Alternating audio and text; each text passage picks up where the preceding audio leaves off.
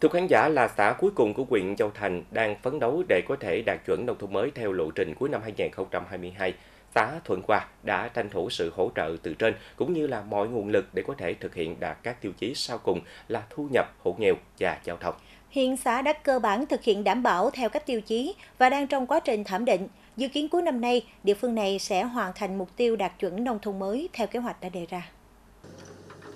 Đây là tuyến đường rạch Sa Bâu có chiều dài hơn 2.000 m đang được đầu tư nâng cấp từ 1,5 m lên 3,5 m đạt chuẩn theo quy định để có thể phục vụ cho việc đi lại, giao thương, vận chuyển hàng hóa, nông sản của bà con trong khu vực.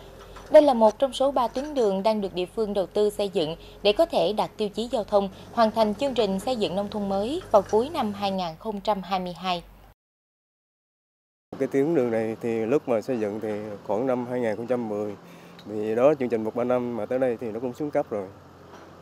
Thì hôm nay thì cũng nhờ cái chương trình ờ, xây dựng nông thôn mới cũng có hỗ trợ kinh phí để làm cho tuyến đường này thì bà con cũng rất là là, là, là mừng. Nhất là ở đây là trồng táo sen rồi đó. Cái thứ hai nữa là những người mà già yếu bệnh tật rồi đó sau này có cái tuyến đường này thì rất là quan trọng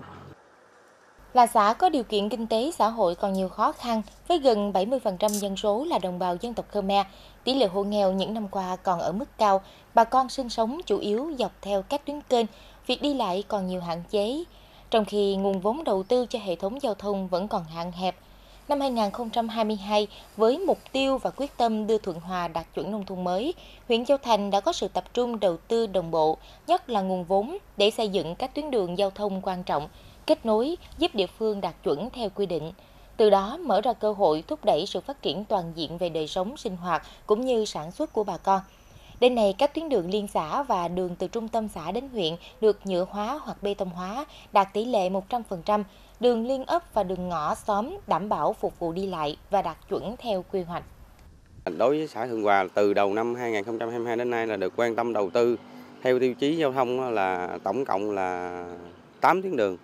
đã xây dựng xong là 3 tuyến còn 4 tuyến hiện là đang thi công. Thì trong thời gian qua thì được sự quan tâm của mà huyện ủy, ủy ban nhân huyện thì bây giờ đã triển khai cho xã Hương Hòa là xây dựng các tuyến đường. Thì cái thứ nhất là trong các tuyến đường trong thời gian qua chúng ta biết thì những cái tuyến đường mà cơ bản thì từ một mét rưỡi thì cái điều kiện mà lưu thông vận chuyển hàng hóa thì nó cũng còn hạn chế. Thì bây giờ thì đầu tư mở được cái những cái tuyến đường 3 mét rưỡi thật sự bà con rất là mừng cái thứ nhất là phục vụ cho lưu thông hàng hóa cái thứ hai nữa là cái diện tích đất ở cái vùng lộ được mở ra thì nó sẽ tăng được cái giá trị nên bà con rất là phấn khởi. Hệ thống giao thông được đầu tư ngày càng đồng bộ đã tạo nên diện mạo mới khang trang cho những tuyến đường nông thôn. Đến nay, Thuận Hòa cũng đã xây dựng tuyến đường nông thôn mới kiểu mẫu, đảm bảo sáng xanh sạch đẹp với chiều dài hơn 4 km trên địa bàn các ấp Sa Bâu, Trà Quýt B và Trà Canh B. Tuyến đường hoa đã tạo nên sinh khí mới, tạo động lực để bà con tiếp tục chỉnh trang, làm hàng rào, cột cờ, giữ gìn vệ sinh để có thể cùng địa phương hoàn thành các tiêu chí nông thôn mới theo kế hoạch đề ra. Ủy ban ờ, đảng ủy cũng tổ chức ờ, coi như là trồng bông, trồng bông ờ, từ đầu năm cuối năm 2021 rồi đến nay với các ban ngành đoàn thể của xã cũng xuống tiếp rồi ban dân ấp ừ, coi như là cũng ờ, ừ, thực hiện. Lúc ờ, trước tụi tôi trồng chưa có mưa đó mà người dân người ta ra tiếp ờ, tưới tưới nước cho bông đừng cho nó héo cái bông trồng nó có diện mạo nó rất là đẹp. Rác rồi người dân không có bỏ bừa bãi nữa coi như là có thùng đồ đựng rác rồi luôn.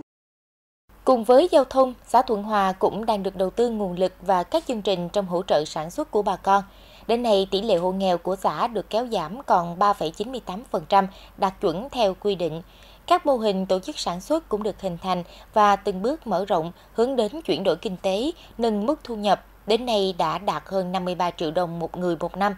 Theo dự kiến cuối năm nay, Thuận Hòa sẽ đạt chuẩn nông thôn mới theo lộ trình đã đề ra.